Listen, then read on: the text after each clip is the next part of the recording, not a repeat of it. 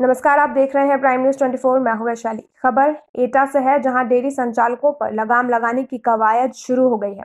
नगर पालिका डेयरी संचालकों का डेटा कलेक्ट कर रहा है। जल्द ही पूरा ब्यौरा मिलने के बाद नगर पालिका की तरफ़ से सभी डेयरी संचालकों को नोटिस भेजा जाएगा, जिसके बाद शहर से इन डेयरी संचालकों को हटाने की तैयारी भी की जाएगी। बताया जा रहा है कि जिन डेयरी संचालकों को नोटिस जारी की जा रही है, उनकी वजह से सड़क पर अतिक्रमण समेत गंदगी का अंबार रहता है। प्राइम न्यूज़ 24 के लिए एटा से विकास दुबे की रिपोर्ट। के अंदर डेरिया चल रहे हैं उनको नोटिस देने की तैयारी की जा रही है। क्यों नोटिस दी जा रही है? क्या है पूरा मामला? एक्चुअली क्या है अ, कुछ रोडों पे कुछ हमारे जो नगर पालिका के अ, मार्ग हैं उन पर शिकायत आ रही है लोगों की लोग पशु बाँध रहे हैं रोडों पे जिससे आवागमन हमारा प्रभावित हो रहा है और यातायात पे बहुत बड़ा फ़र्क पड़ रहा है। और दूसरा, ये पशु जो जहाँ पर ये लोग रखते हैं, वहाँ ये उसका जो गोबर है, वो नालियों में बहा देते हैं।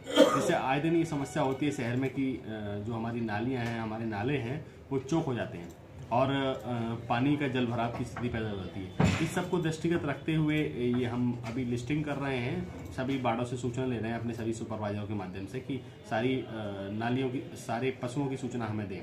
ताकि जो लोग यहाँ पे पशु रख रहे हैं और उसका गोबर का निस्तारण कैसे कर रहे हैं, उस पर सारी सूचना एकत्रित की जा रही है, उसके बाद हम नोटिस इनको देंगे।